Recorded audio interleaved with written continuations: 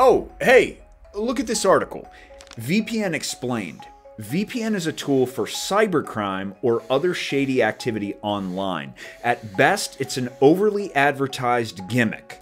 Hmm, wait a minute. Then why use a VPN at all? And why do so many people and companies use a VPN every single day? Let me explain. First off, no, a VPN is not for criminals, even if some countries ban its use. At the very basic level, it's a tool to protect your online privacy and browsing data from malicious actors or just those super annoying targeted ads. And keeping your information private is not a crime. Now, of course, criminals can also use a VPN, but that's the same logic as thinking that sneakers are for thieves because some criminals wear them. Now, VPN marketing is a whole different story. It's a bit overblown and targets people's paranoias. VPNs become the sole solution to every single problem. When you exaggerate so much, the real good reasons and question why use a VPN get lost in the noise. But I can probably say this about any marketing every product is your savior. So forget about marketing and let me answer your question What is a VPN and why should I use one? The first reason I use a VPN is for online safety and privacy. You see, when I connect to the internet regularly, my information is like an open book. Threat actors or even my ISP can snoop on what I'm doing and where I am. But when I connect to a VPN server, I get a whole new IP address and all my info is encrypted. If someone now tries to intercept my connection, all they'll see is a hodgepodge of letters, symbols, and numbers. But do I need a VPN if I only use social media? Yeah. Even simple information from your account can lead to cyber attacks and serious reputational or financial losses, so it's good to have a VPN to protect you. Ultimately, I personally just don't like sharing my information with my ISP, government, or ad companies. Yeah, I'm aware that for some of you, this might sound a bit conspiracy theory ish. And sure, maybe you don't care about ISPs or ad companies getting a hold of your data.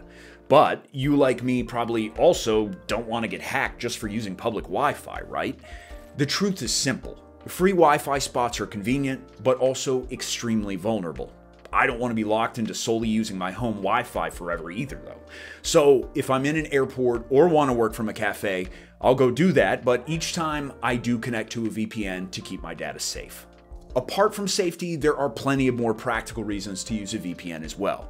In this day and age, lots of people are working remotely, as am I, and I need to be able to connect to specific remote servers to get work files securely.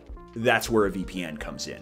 Your workplace or even your school might require this. It's way safer to region lock servers containing sensitive data. This brings me to my next point content geo restrictions.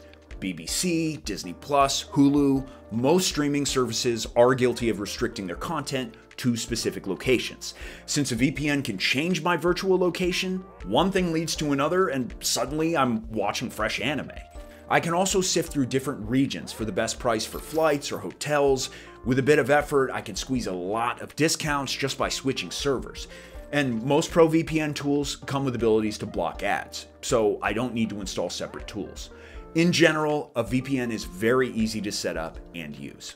So, these are my main reasons for using a VPN daily. But for some users, the answer to the question, why use a VPN, might be motivated by more extreme needs. Like, for example, do you need to bypass censorship? Now, for me, my country's laws might not be that oppressive yet, but your country's might be. If that's the case, then knowing how to use VPN could save your butt.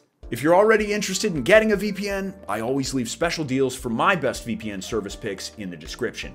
But should you buy one? Or should you use one for free?